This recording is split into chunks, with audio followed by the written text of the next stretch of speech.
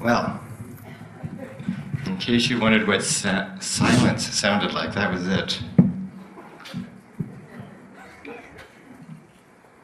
Thank you, gentlemen. At this point, we are going to um, practice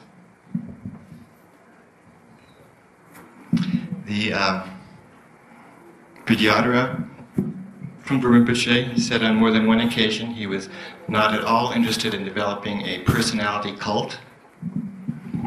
So rather than just uh, reminisce about him, we are going to um, do what he did recommend, which was develop the awakened state of mind. So we're going to attempt that this evening by performing a um, practice he wrote and by um, performing various offerings of dance, kyudo, we just had um, some music and so forth. All these toward developing the awakened state of mind. So at this point,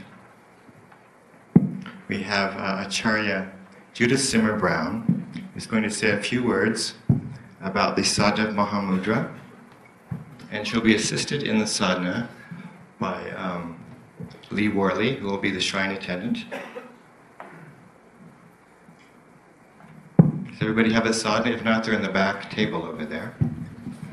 So we we did run out of copies of the sadhana, I do believe. So if you'll just take a look to your right or left, and if you can share with your neighbors, that would be great.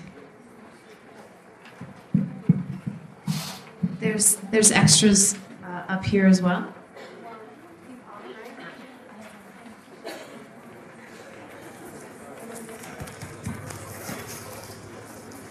There are also more seats up here on the front and the sides, so if you are sitting uncomfortably in the back or don't have a proper place to be, please come forward and fill in on the sides up here.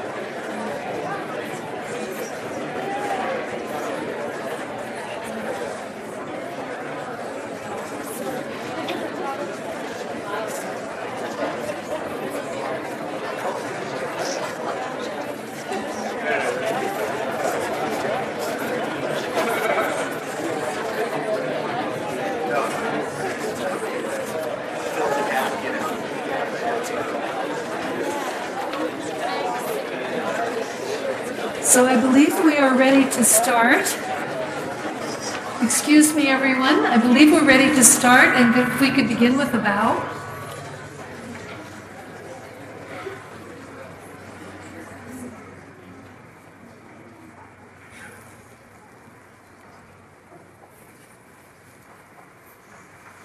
Thank you, and it is so wonderful to see all of you here tonight.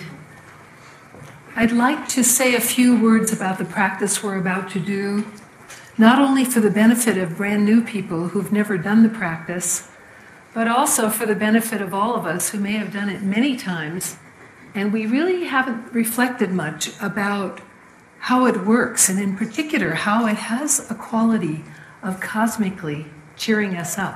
Where's your mic?